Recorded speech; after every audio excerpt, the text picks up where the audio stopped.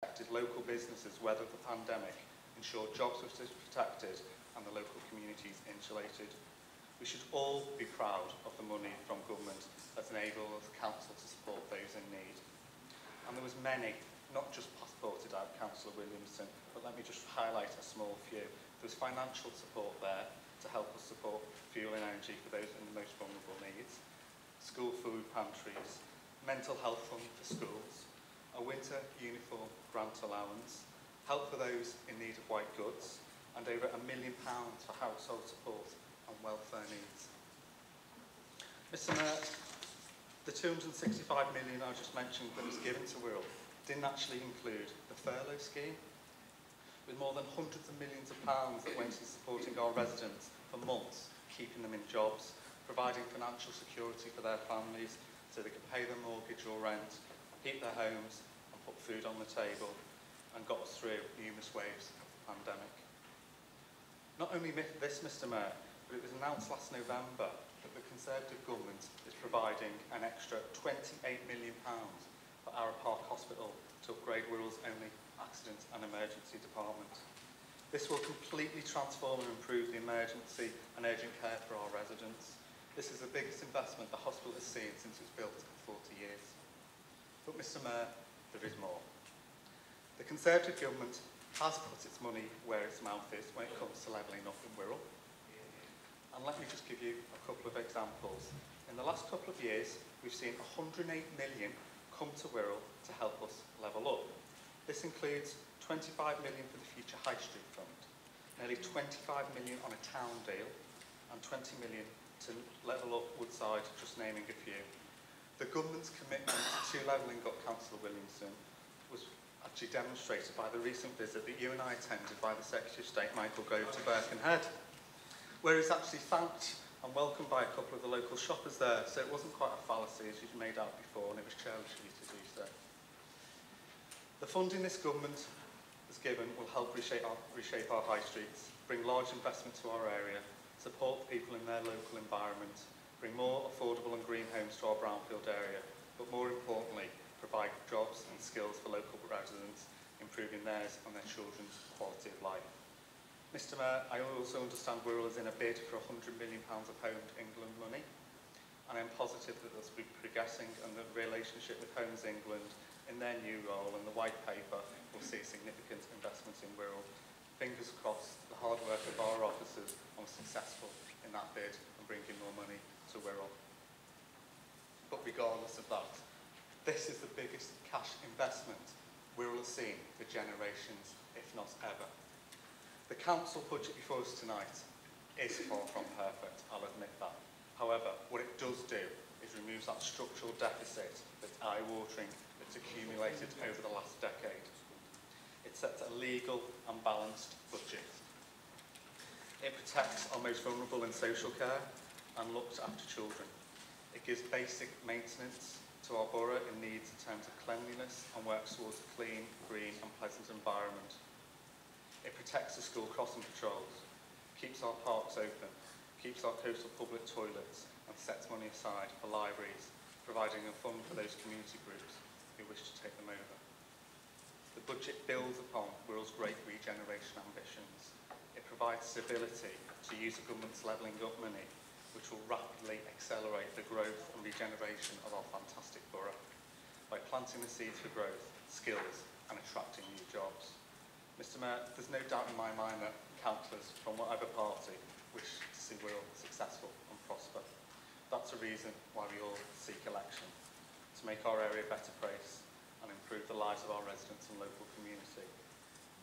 This budget resets the finances and puts the foundations there to do that. It's not the start. Sorry, it's not the, it's not the start. It's not the end, but it's the start of creating the jobs, the skills, the environment that, with the right decisions, Wirral will prosper and grow. And I would urge every councillor to support it. Thank you, Mr. Mayor.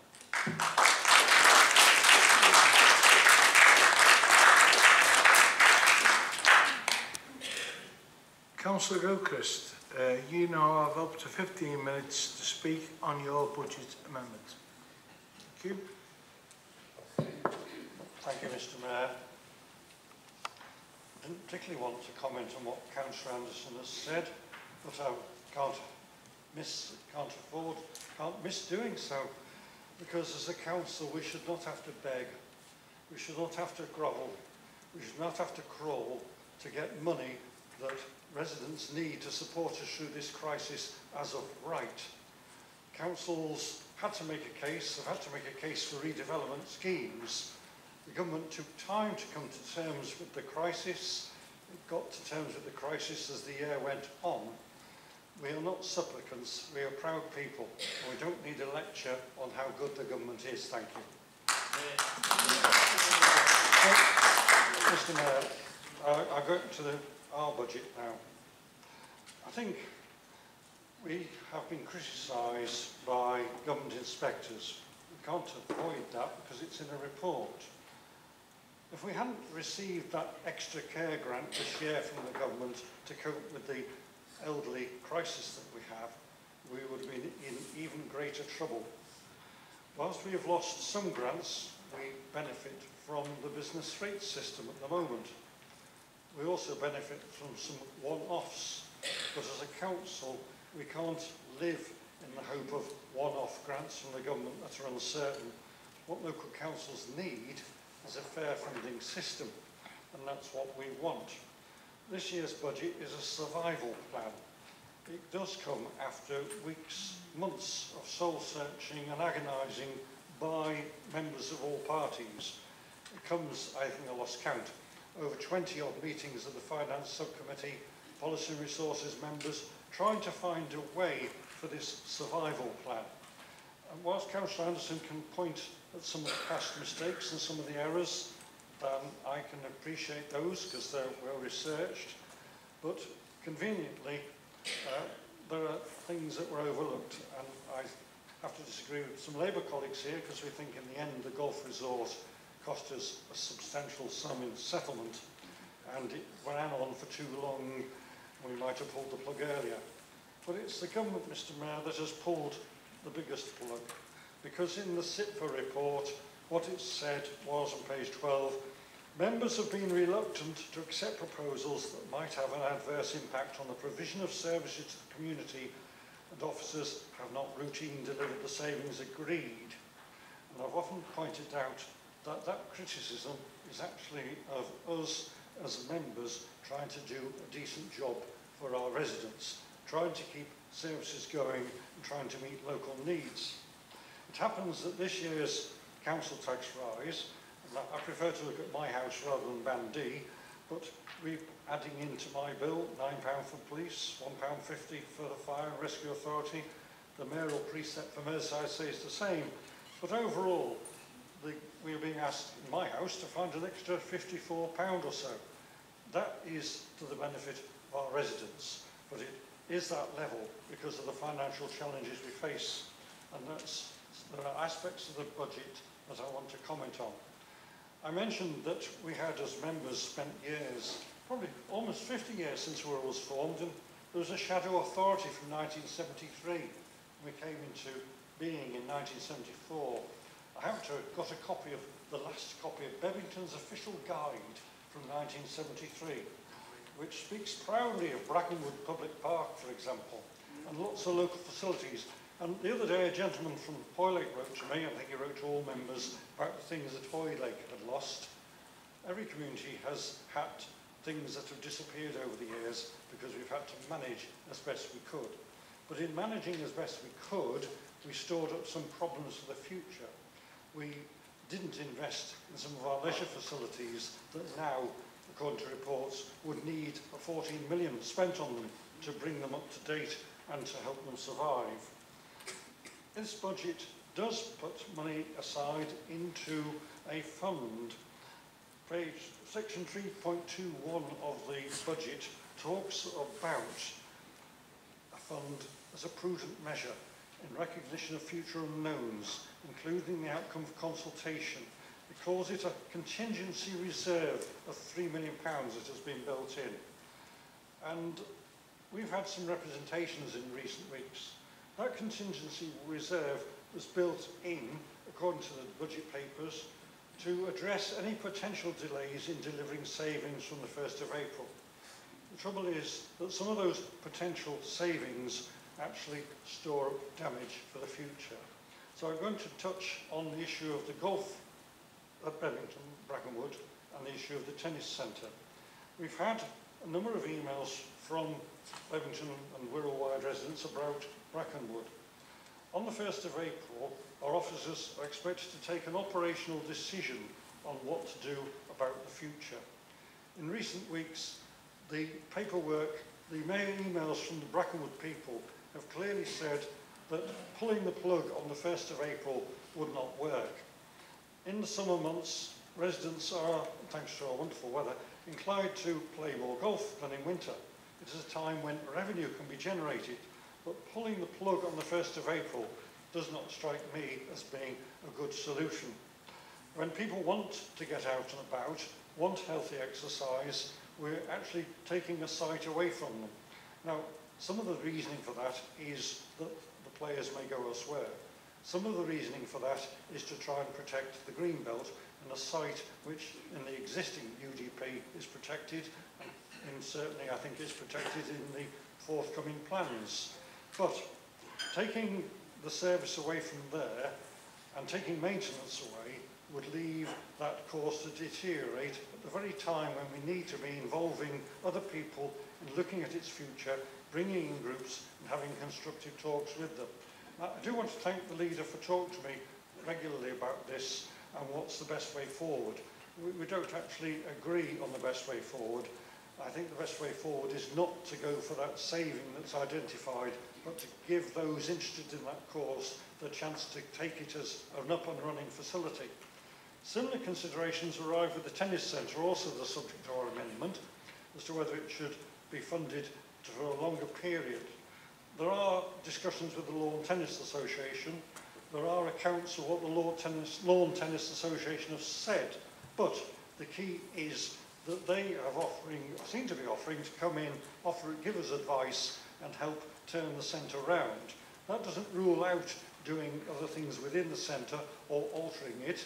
But I think, again, the budget is too tight on that point, too restrictive, and that we need to be more adventurous in seeing what can be done because of the leisure facilities that we have. Other councils have managed it, like Nails and Report, Cheshire West Council. I only have to look over the border and see some of the things they've achieved when they set up a trust to run their facilities. So other people need the opportunity to see what they can do in Wirral. Now, last year, when I um, got into a little bit of hot water, and may have helped, uh, perhaps not helped, didn't intentionally help, uh, the Ada Burns review. She looked at the discussions we had about car parking charges and then wrote her report about how council, councillors spent a long time discussing issues and didn't necessarily agree and then went back on, few, went back on previous decisions. There are times when we have made decisions that are not likely to work out, don't seem to be able to work out, and got ourselves painted into a corner. And the chief corner is, of course, that Department of Levelling Up Housing Communities. And I understand all the sensitivities about this because we haven't had the letter back from the government saying we can borrow, have that loan that's going to cost us money. That loan came with conditions, conditions I always feared would have an impact on our society and the fabric of society. And what the letter from the government on the 2nd of November said, any faltering in this area would be of considerable concern and could lead to a reconsideration as to whether a different approach might be appropriate. Well, that's the threat that is hanging over us. And I appreciate the sensitivity of getting a budget through and trying to head off the intervention, the very intervention that the leader has spoken about. We have, over the years, and I recall very much, look, looked at the library service. We have before us a very detailed report from officers that went to committee in January. It set up a process of consultation. Some of that consultation has been overtaken by what Policy and Resources suggested, but the outcome is still a review. And whenever we review anything, what I'm looking for is a degree of fairness and understanding of each of the local cases. And I hope all the local cases that are put will be considered fairly and not constrained by a very strict adherence to the issue of the £3 million. The £3 million was intended to give us some breathing space, not to be blown, not to be just used, there to help us salvage key services for our residents. So there is a Liberal Democrat amendment, Mr Mayor. It covers those issues. I commend it to Council, but I suspect it may not reach agreement. Thank you, Mr Mayor.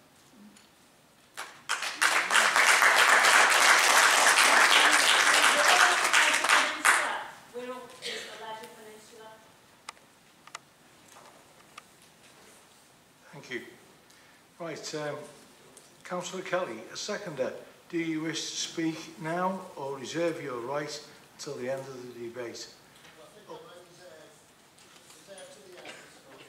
Sorry. Can you use your mic? Yeah, uh, thank you, Mr Mayor. I'll reserve my right to the end. Um, So now we have um, the Green Group, budget amendments. Councillor Cleary, you, you now have up to 15 minutes to speak to your budget recommendation. Thank you, thank you, Mayor. Uh, I think, like um, like Councillor Gilchrist, I, I started off my preparations for uh, this evening by revisiting the, the external assurance reviews uh, that were published three or four months ago. Uh, and one of the, the recommendations on page 24 reads, there is, there is little evidence that members and officers are working effectively together to develop a clear financial plan. So the first thing I'd like to do is just thank all the officers who have worked, I think, very, very effectively over the last three or four months and have worked very, very hard and diligently. Uh, and the fruits of their labours are here in, in this budget. I don't like all the things that are, are in the budget, but I do commend officers for the hard work that they have done. It has been and is a difficult process, uh, and in thanking them, I'm thinking particularly uh, of the reference on page 78 to the staffing implications of this budget, where it says it is estimated that the overall number of posts to be reduced is approximately 136 full-time equivalent. So this budget will affect many, many of the people who work for this council and have given many, many years of service to the public. The second thing in the uh, CIPFA report I wanted to refer to was the issue of reserves. It says that we need to review the level of earmarked reserves to rebuild general reserves to an appropriate level. And pleasingly and also conveniently, that review has so far yielded £2.5 million pounds to raise the general reserve level from 3% to 4% as advised by CIPFA. And there it would be disappointing if further interrogation of our earmark reserve did not release more funds to bear down on the capitalisation sum, which we have been forced or are being forced uh, to borrow for this year. And this matters for many reasons. And one of them is the ongoing sale of council-owned assets. We were told on the publication of the CIPFA report there would be no fire sale of public assets. But I ask, is that really true? I would draw members' attention to one relatively small but I think significant uh, proposed sale of public asset, the Quarry Bank Industrial Estate in Birkenhead. This is a fully occupied industrial estate that generates net revenue to the council of around £50,000 a year. The only justification provided by officers for that sale is that it will support the Wirral plan and its delivery through the generation of a capital receipt. Mr Mayor, that's a very low bar to, to overcome, to justify the sale of an important public asset. And there's no reference to the, the positives. The positives in terms of the revenue we get every year, the positive, positives in terms of control of the asset going forward, and the positives in terms of security of tenure for important local employers. So I find that somewhat worrying. Hopefully when that proposal comes to the Policy and Resources Committee, it will be interrogated quite thoroughly. And I think we need to watch very carefully for future proposed sales of our assets if they are going to be justified on relatively flimsy ground and if we're going to throw away important sources of revenue going forward. That brings me on to what the CIPFA report had to say about savings. The CIPFA report said we need to set challenging targets to identify additional savings. Well, originally, at the beginning of the process, the overall savings proposals were set at £27 million, so we certainly succeeded in setting challenging targets. We were told the financial settlement from government was unlikely to significantly impact on this number. In the event, the settlement improved our position by over £12 million. And at this stage, we were told there would be a 15% contingency applied. Now, while some contingency might be appropriate, no evidence base has ever been supplied as to why it should be as high as 15%. Contrast, the savings plans in this budget have a much more robust evidence base. Should we not at least expect the same when we are told to apply a 15% contingency? And of course, there's no upside contingency. There's no upside despite the fact that this year is the 10th year in a row that our actual income will exceed budgeted income. So hence the welcome, but I would say unsurprising decline in our capitalisation sum for the second year in a row to just over £6 million. So Mayor, the high-level numbers on savings, on capitalisation and on reserves have all moved in the right direction since this process began. Officers have already demonstrated a very high degree of caution in framing this budget. And many of the proposals in the budget are genuine savings that will not impact on frontline services and can be welcomed. Some are particularly welcome. Uh, for example, the extra capacity for looked after children in Wirral that we can look forward to. The Green Fleet review of council vehicles that will save money and cut our carbon emissions. The end to council-funded fireworks displays. And the long overdue reduction in energy use in council buildings as tabled by the Green Group at Policy Resources. But many savings are cuts, pure and simple. They will inevitably impact on our staff, as I've already mentioned. They will hit services, and they will further increase the despairing levels of inequality in our borough. So, given the positive trend in reserves and the reduction in the required capitalisation, and also the robust interrogation of savings proposals that we have gone through, it is our view that the contingency as applied is really a very blunt tool to ensure the CIPFA recommendations are adhered to at such a pace that is inconsistent with due regard to the likely social and environmental impacts. It does not allow appropriate time and space for alternative proposals to emerge and to be duly considered and supported.